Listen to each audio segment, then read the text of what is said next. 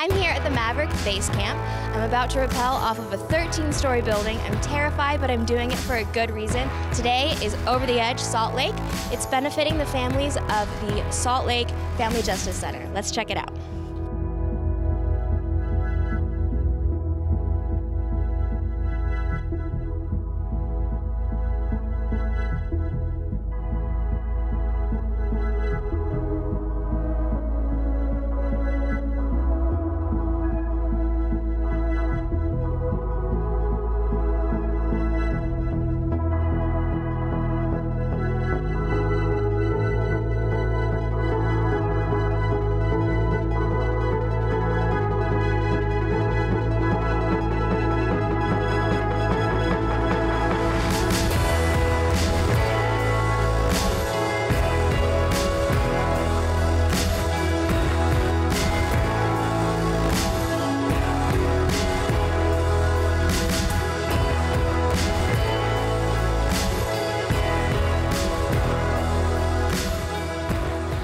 Joined by Renee Malecki. She is the director of the Family Justice Center here in the Salt Lake area.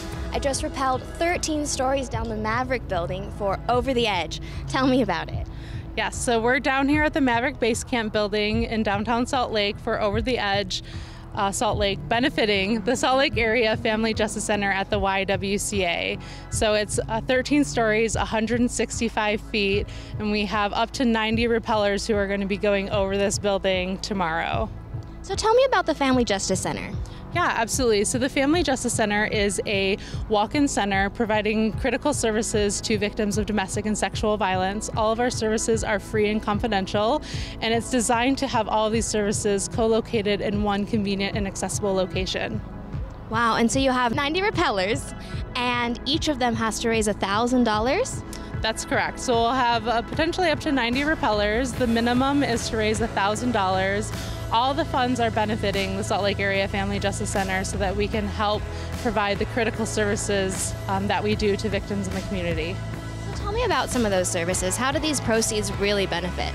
Right. So we um, partner with 14 different community agencies to provide a number of services. So, for instance, we have law enforcement who co locate, uh, legal services that co locate, immigration services, counseling and therapy. Um, so, that's just to name a few of the, the services that we provide for free.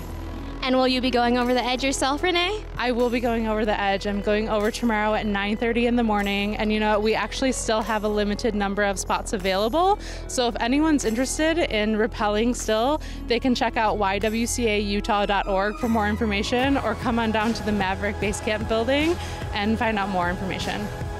It sounds like the Family Justice Center is doing a lot of amazing things. If you weren't able to make it out today, how can people still get involved? Yeah, absolutely. So individuals who couldn't make it out today can always get involved by volunteering time to the YWCA and to the Salt Lake Area Family Justice Center program, um, or they can contribute financially to the YWCA.